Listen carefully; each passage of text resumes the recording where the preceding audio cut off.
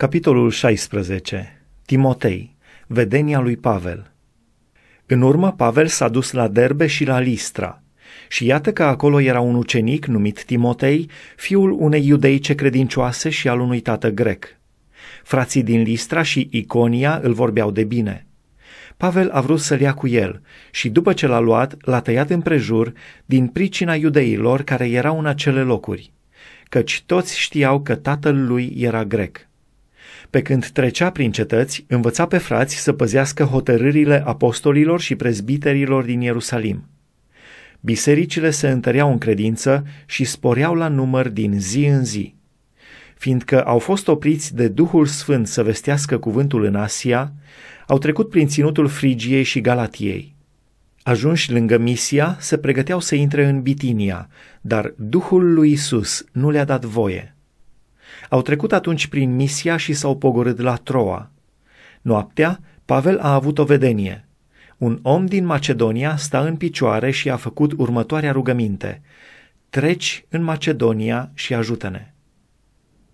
După vedenia aceasta a lui Pavel, am căutat îndată să ne ducem în Macedonia, căci înțelegeam că Domnul ne cheamă să le vestim Evanghelia.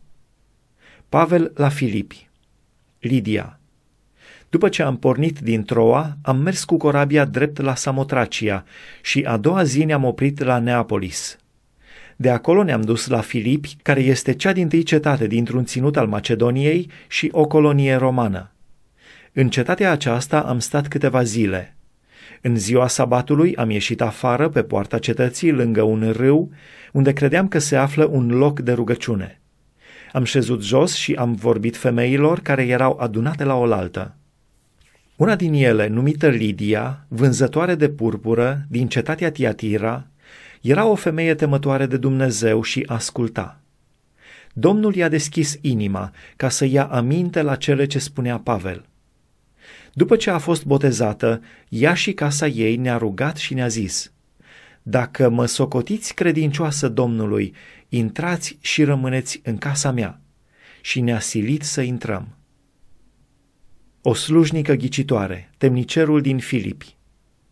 Pe când ne duceam la locul de rugăciune, ne-a ieșit înainte o roabă care avea un duh de ghicire. Prin ghicire, ea aducea mult câștig stăpânilor ei. Roaba aceasta s-a luat după Pavel și după noi și striga. Oamenii aceștia sunt robii Dumnezeului celui prea înalt și ei vă vestesc calea mântuirii. Așa a făcut ea timp de mai multe zile. Pavel, necăjit, s-a întors și a zis Duhului, În numele lui Isus Hristos îți poruncesc să ieși din ea. Și a ieșit chiar în ceasul acela.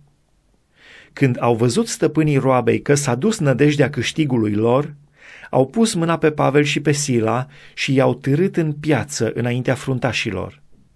I-au dat pe mâna dregătorilor și au zis, Oamenii aceștia ne tulbură cetatea, sunt niște iudei care vestesc niște obiceiuri pe care noi, romanii, nu trebuie nici să le primim, nici să le urmăm. Norodul s-a ridicat și el împotriva lor și dregătorii au pus să le smulgă hainele de pe ei și au poruncit să-i bată cu nuiele. După ce le-au dat multe lovituri, i-au aruncat în temniță și au dat în grijă temnicerului să-i păzească bine. Temnicerul, ca unul care primise o astfel de poruncă, i-a aruncat în temnița din lăuntru și le-a băgat picioarele în butuci. Pe la miezul nopții, Pavel și Sila se rugau și cântau cântări de laudă lui Dumnezeu, iar cei închiși îi ascultau. Deodată s-a făcut un mare cutremur de pământ, așa că s-au clătinat temeliile temniței. Îndată s-au deschis toate ușile și s-au dezlegat legăturile fiecăruia. Temnicerul s-a deșteptat și când a văzut ușile temniței deschise, a scos sabia și era să se omoare, căci credea că cei închiși au fugit. Dar Pavel a strigat cu glas tare. Să nu-ți faci niciun rău, căci toți suntem aici. Atunci temnicerul a cerut o lumină, a sărit în lăuntru și, tremurând de frică, s-a aruncat la picioarele lui Pavel și ale lui Sila. I-a scos afară și le-a zis, Domnilor, ce trebuie să fac ca să fiu mântuit? Pavel și Sila i-au răspuns, crede în Domnul Isus și vei fi mântuit tu și casa ta. Și i-au vestit cuvântul Domnului, atât lui cât și tuturor celor din casa lui. Temnicerul i-a luat cu el chiar în ceasul acela din noapte, le-a spălat rănile și a fost botezat îndată, el și toți ai lui. După ce i-a dus în casă, le-a pus masa și s-a bucurat cu toată casa lui că a crezut în Dumnezeu. Pavel și Sila slobozi când s-a făcut ziua, dregătorii au trimis pe cei ce purtau nuielele să spună temnicerului, dă drumul oamenilor acelora. Și temnicerul a spus lui Pavel aceste cuvinte, dregătorii au trimis să vi se dea drumul. Acum, dar, ieșiți afară și duceți-vă în pace. Dar Pavel le-a zis, după ce ne-au bătut cu nuiele în fața tuturor, fără să fim judecați, pe noi care suntem romani, ne-au aruncat în temniță și acum ne scot afară pe ascuns. Nu merge așa. Să vină ei singuri să ne scoată afară. Cei ce purtau nuielele au spus aceste cuvinte dregătorilor. Aceștia s-au temut când au auzit că sunt romani. Dregătorii au venit să-i potolească, i-au scos afară din temniță și i-au rugat să părăsească cetatea.